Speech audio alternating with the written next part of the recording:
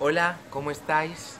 Eh, yo soy Carlos González, el actor que interpreta a Rafa en Amares para siempre. Os estoy saludando aquí desde el catering donde comemos cada día. No sé si se oyen las freidoras o no, pero bueno, que quería mandaros un saludo y daros las gracias eh, por, bueno, por vernos. Al fin y al cabo nuestro trabajo tiene sentido si tiene sentido para vosotros. Así que un beso muy fuerte a telenovelas Made in Spain.